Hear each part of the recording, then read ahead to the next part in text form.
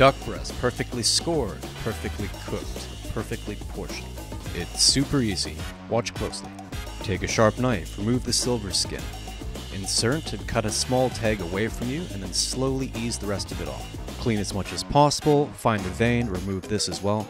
So now we're going to score. Before you begin, you want to make sure that the duck fat is cold and is solid.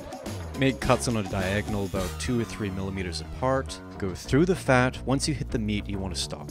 Season, hot pan, render the fat. Add aromatics, garlic, thyme. After a few minutes of cooking, add some of the fat back into the pan. Baste. Flip. Keep basting. Using a metal skewer or cake tester, make sure that the duck is warm on the inside, not hot, not cold. Rest in foil for 5 minutes. Portion on a diagonal and serve.